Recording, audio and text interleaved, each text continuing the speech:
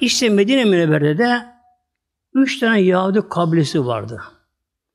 Beni Peygamberimiz bunları önce muhatap almadı bunları. Yani cephe çoğalmasın diye savaş taktiğinde bunlar Peygamber oyaladı bunlarla bir saldırmanın paktı ile. Uhud Savaşı'nda Müslümanlar fazla şehit verince, 70 şehit verince, savaşta tam kazanılamayınca bu defa bu Yahudi'ye bir cesaret geldi bunlara karşı. Derler ki Müslümanlarda iş yok bunlara karşı böyle. Bunun üzerine Beni Nadir Yahudileri Medine'ye iki mil mesafede aşağı dört kilometre yapıyor mesafeleri. Onların bulunduğu yer. Bulunduğu yer. Haber gönderiyorlar peygamberimize. Diyorlar ki Muhammed'e söyleyin bizim kalemize gelsin, kaleleri vardı, kalemize gelsin de bir İslam'ı anlasın, anlasın, belki kimse oluruz. Tabi Peygamberimizin görevi bu muhteremler. Kim çağırsa gitmesi gerekiyor. Peygamber Aleyhisselatü yanına birkaç hesabını aldı, gittiler. Meyen tabi muazzam sıcak. Bu olay günüz oluyor. O günde hava çok sıcakmış.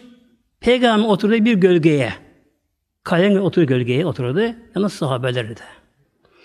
Meğer Yahudiler önceden bir tuzak kurmuşlar.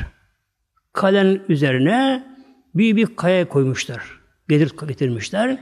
Peygamber oraya oturunca onu yukarıdan yuvarlayacaklar öldürecekler. Suyu kas yapacak Peygamber'e böylece. İki üç tane Yahudi yukarıda kaleden artık seviniyorlar. Bakıyorlar. Muhammed geldi onlara göre. Bir de peygamberim diye diyorlar ona şimdi gülüyorlar. Bak peygamberim diyor.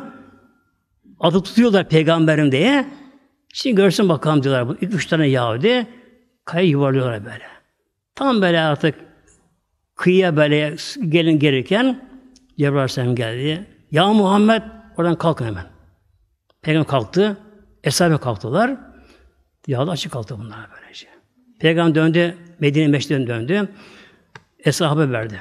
Eshabın durum böyle böyle. Peygamber haber gönderiyor Yahudilere.